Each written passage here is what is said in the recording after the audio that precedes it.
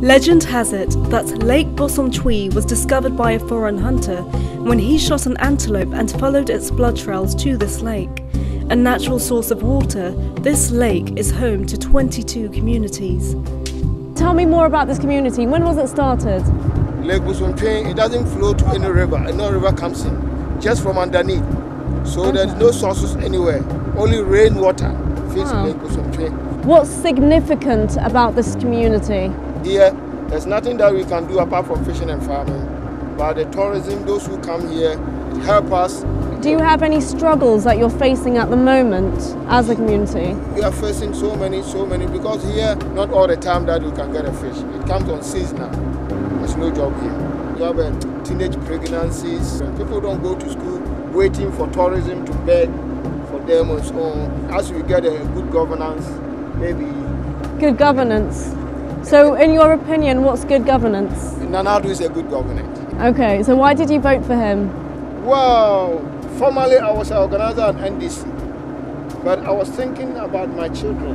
I have a, a small girl, about 12 years, that's my last one, about how they are uh, preaching about uh, free education, uh, job creating. What I found interesting is that you said you were a former NDC organizer, Yes, but you voted for NPP this election. Yes.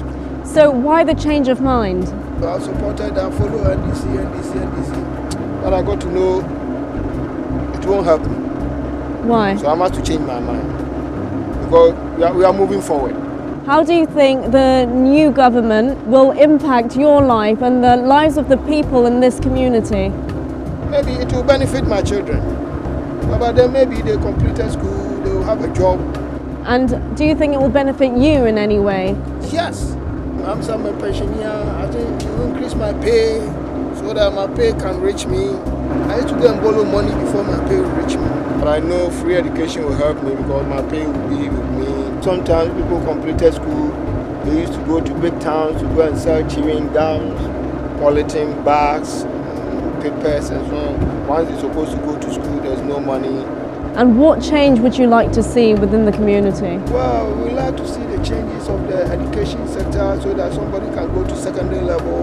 Once it's free, um, all means, somebody can send, I can send my, my, my children to that place. Just found out that this lake has actually reduced in size over the last 25 years by about 20 metres due to direct sunlight and also activities of the community such as cutting down the trees along the river banks. Who are cutting down the trees? Once there's a, uh, a logs here, I won't take my money to go to Victoria to go and buy wood to support the, uh, my building that I was building. So if the community know this, are they doing anything to prevent that? Well, you see, the community here, there's no forestry commission around here. We are far away from here, so unless somebody called them to come and have a look, nobody will do that. Surely you want to put measures in place to save the lake, Yes. but they're still cutting down the trees to build Yes, that house. Yes. So is there any other way, an alternative for them to stop Just cutting to down the trees? understand ourselves. And how do you think that can be achieved? we, we have to talk to ourselves. And are you going to talk to yourselves? Well, we, we, are- we, are, we, are, we are on it. We are, we are on it, but it's not one day job. Yeah. This structure was the first house built here in the water in the 1980s. The lake has shrunk by 22 metres over the years, suggesting clear evidence of climate change.